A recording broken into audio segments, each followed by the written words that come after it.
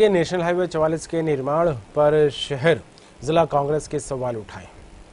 जिला कांग्रेस ने सवाल उठाए। कांग्रेसियों का कहना है कि हाल ही में हुए नेशनल हाईवे नंबर 44 का निर्माण गुणवत्ता विहीन और मानकों को दरकिनार करते हुए किया गया है। किए गए निर्माण कार्य की जाँच करवाने के लिए शहर के सभी कांग्रेसियों ने एकत्रित होकर ग्वालियर जिला कलेक्टर के नाम डबरा एसडीएम को एक शिकायती आवेदन दिया है और बनाए गए रोड की गुणवत्ता की जाँच कराकर दोषियों पर कार्रवाई करने की मांग की है।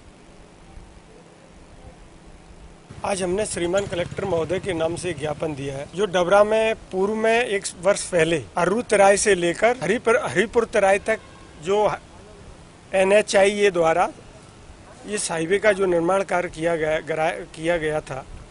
उस हाईवे हाईवे में जो अनियमितताएँ थीं, उसके संबंध में आज हम सब ब्लॉक कांग्रेस कमेटी द्वारा ज्ञापन दिया गया प्रशासन का बार बार आश्वासन दिया जाता है, यदि प्रशासन अपनी ओर से इस बार हमारी ये चेतावनी है कि यदि प्रशासन कार्रवाई नहीं करता है तो हम सब लोग